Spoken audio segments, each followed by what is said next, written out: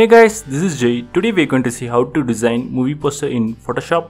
Before getting started, you can download all the files used in this tutorial. Link in the description. Download it, use it. If you got any doubt, let me know in the comment section. I'll help you. In case if you want the completely designed .psd file means, hit the like button soon after reaching 100 likes. I'll give you the download link. Fine, let's get started.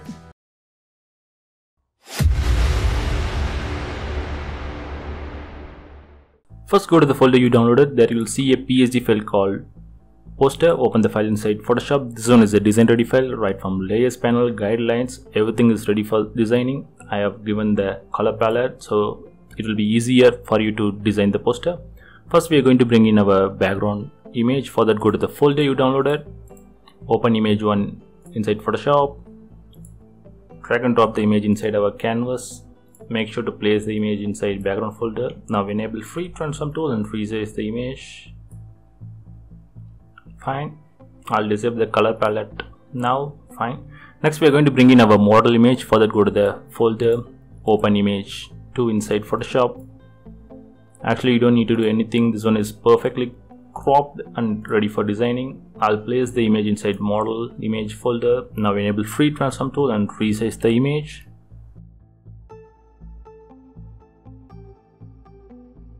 I'll settle with this one.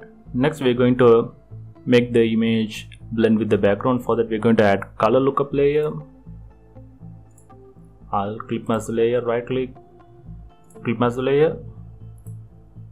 Next in the color lookup I'm going to select futuristic bleak this one and I'll change the opacity down to 52 next we're going to create a curves layer.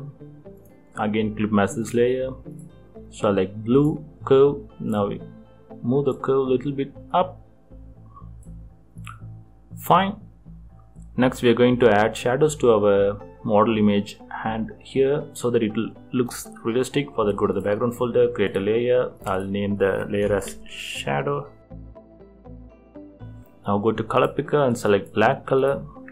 Enable brush tool. I'm going with soft round brush this one now zoom in and reduce the brush size. Give few clicks like so.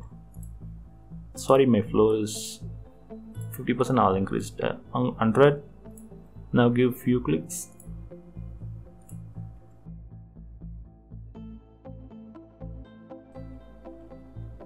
Fine it looks realistic. Next we're going to bring in a lamp image. For that go to the folder you downloaded. Open image 3 inside photoshop now drag and drop the image inside our canvas. Now enable free transform tool and resize the image.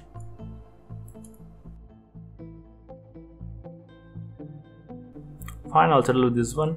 We need to hide the unwanted part for that we're going to create a layer mask. Now go to color picker select black color.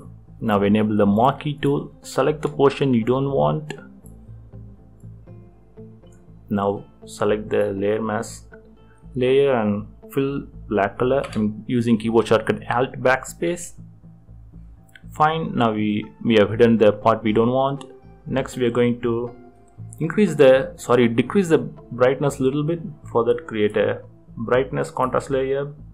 I'll keep the number as minus 16 and I'll reduce the contrast to minus 4 next we're going to add a bird image on right side here. For that select the bird folder next go to the folder you downloaded open image for inside photoshop. Drag and drop the image inside our canvas.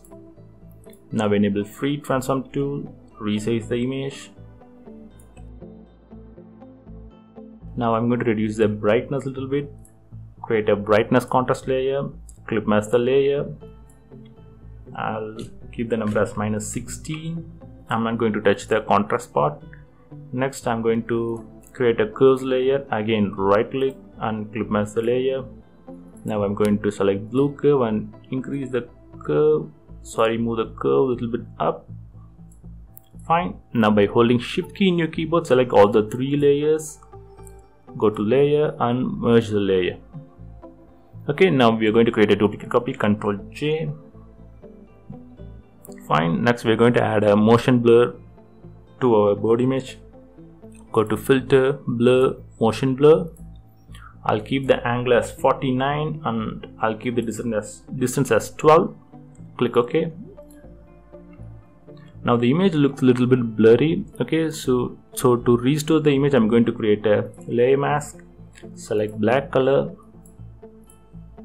now select the brush tool. I'm going the same soft round brush this one. Reduce the size. I'll reduce the flow to 50 percent and give few clicks. Fine. Now it looks realistic next we're going to add glow effect to our lamp. For that go to the background folder create a layer. I'll change the blending mode to linear dodge this one and go to sorry before that enable the color palette we're going to use these colors. Now go to color picker sample this color. Now pick the brush tool. Again go with the soft round brush this one. Reduce the size and give a single click. Sorry my flow is 54 50 percent. I'll increase it to 100 and give a single click. Fine next we are going to repeat the very same step. Create a layer change the blending mode to linear dodge go to color picker but this time we're going to select this one second color. Click ok. Again brush tool. I'm going the same soft round brush. Increase the size. Now give a single click. Next we're going to add few effects to our model image. For that select the model image. Right click blending option. Select inner glow. Sorry inner glow. There I'll keep the blending mode as linear dodge I'll keep the opacity as 19 and in the color I'm going to sample and select the third one this one. Click OK. I'm not going to touch any other settings. Next we are going to add click OK and next we are going to add a reflection effect to our model image. For that create a layer right above all of the layers and clip mask the layer. Change the blending mode to screen. Now go to color picker sample this color but I'm going to change it to a little bit yellowish bright yellow something like this one. Fine. Now select brush tool. Again I'm going the same soft round brush. In case if you want you can reduce the flow to something around 60 and give few clicks here. So that it will look like some kind of image. So lamp light reflection.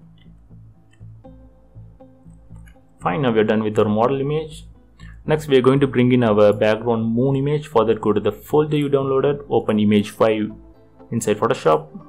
Now drag and drop the image and place it inside our background folder. Fine. Place it at the center. Now I'll reduce the, sorry, I'll change the blending mode to screen. Now we are going to add a layer mask effect for that create a layer mask go to color picker going with the same black color enable brush tool select soft round brush now erase the those border parts give few clicks make sure to adjust the flow settings. Fine I'll settle with this one. Next we are going to add movie title here. Now I'll close all the layer sorry folders now go to the folder you downloaded. There you'll see a psd file called title. Open the psd file inside photoshop. Now drag and drop the text folder inside photoshop. I'll place it below the effects folder. Place the title design at the center. Fine. Next i'm going to add minimal effect to our title design. Right click the title image select blending option so like drop shadow there I'll go with the black color. I'll keep the opacity as 9 angle 90 distance as 4 I'll keep the spread as 24 and size as 29 next we're going to change the color. For that select gradient overlay. I'll keep the blending mode as normal. I'll keep the opacity as 69 now select the gradient bar select the fourth one on the left side i'm going with this gray color um, on the right side i'm going with this kind of blue tinted gray color click ok now enable the reverse option i'll keep the style as linear I'll keep the angle as 90 and reduce the scale down to 60%. Now click OK. Next we're going to add a layer mask to our title design. Add a layer mask. Again select black color. I'm going the same soft round brush and give few clicks so that it will blend with the background image. Fine. You can disable the color palette folder now. Next we're going to add few effects for that select the effects folder now go to the folder you downloaded there you'll see an image called sorry image 6 open the image inside photoshop now drag and drop the image inside our canvas enable free transform tool and rotate it 90 degree. Reduce the size if you want. I'll keep the blending mode as screen. Make sure to reduce the opacity down to 60 percent. Of course it's op optional. You can go with your settings. I'll create a duplicate copy control J. Now enable free transform tool. Give a uh, flip horizontal rotation and flip vertical and I'll place it here. Fine. Now our poster is almost ready. As a final effect we're going to add a color lookup layer for that go to the adjustment layer create a color lookup layer. I'm going with the horror blue this one. Of course if you want you can experiment with the other settings. I'll keep the opacity as 36 so there you go. Now our movie poster is ready so that's it guys. I hope this video is useful to you. If you find this video helpful don't forget to hit the like button. For more tutorials subscribe to our channel. Click the bell icon. Thanks for watching. Take care